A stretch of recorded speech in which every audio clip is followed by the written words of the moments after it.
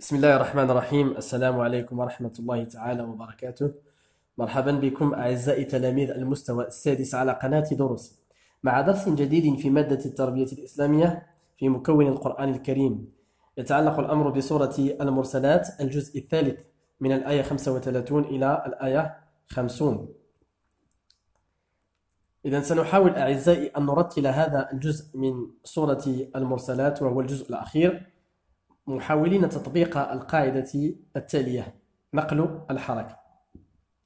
والمقصود أعزائي بنقل الحركة هنا نقل حركة الهمزة إلى الحرف الساكن قبلها. فمثلا في كلمة والأولين الهمزة هنا مفتوحة. وبالتالي ننقلها إلى حركة إلى الحرف الساكن قبلها وهو اللام. فننطقه والأولين. ولا نقول والأولين بل والأولين. وهذا الأمر سائر في رواية ورش. ثم أيضا في قليلا إنكم فهناك أيضا نون ساكنة لا تكتب لكنها تنطق. ننقل لها حركة الهمزة المكسورة بعدها إنكم. تصبح قليلا إنكم لا نقول قليلا إنكم ولكن قليلا إنكم. على بركة الله نحاول أن نطبق هذه القاعدة. أعوذ بالله من الشيطان الرجيم. هذا يوم لا ينطقون ولا يوذن لهم فيعتذرون. ويل يومئذ للمكذبين. هذا يوم الفصل جمعناكم والأولين فإن كان لكم كيد فكيدون. ويل يومئذ للمكذبين. إن المتقين في ظلال وعيون. وفواكه مما يشتهون. كلوا واشربوا هنيئا بما كنتم تعملون. إنا كذلك نجزي المحسنين. ويل يومئذ للمكذبين. كلوا وتمتعوا قليلا إنكم مجرمون. ويل يومئذ للمكذبين. وإذا قيل لهم اركعوا لا يركعون. ويل يومئذ للمكذبين.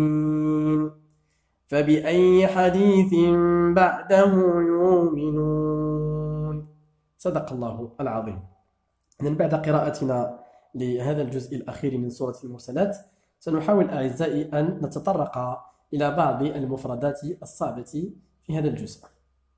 فبداية قوله تعالى لا ينطقون أي لا يستطيع المكذبون يوم القيامة الكلام ولا يؤذن لهم فيعتذرون بمعنى أن الله تعالى لا يأذن لهم بالكلام أو الدفاع عن أنفسهم من أجل الاعتذار.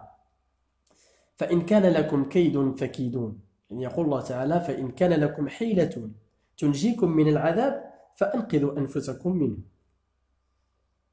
أه، يقول الله تعالى إن المتقين في ظلال وعيون. المتقين هم المؤمنين الذين ينتهون عما نهى الله عنه ويفعلون ما أمر.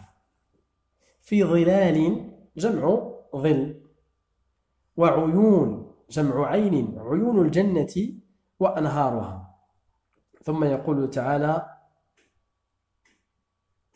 وإذا قيل لهم اركعوا لا يركعون.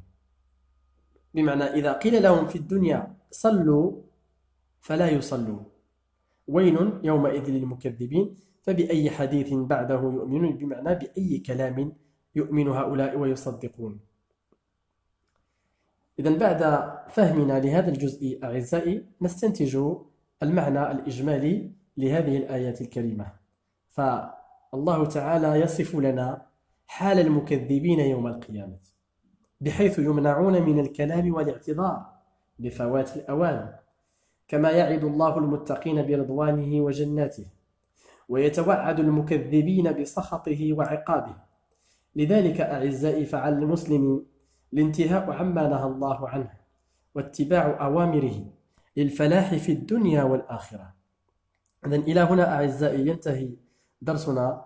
نقول لكم إلى اللقاء وأستودعكم الله الذي لا تضيع ودائعه.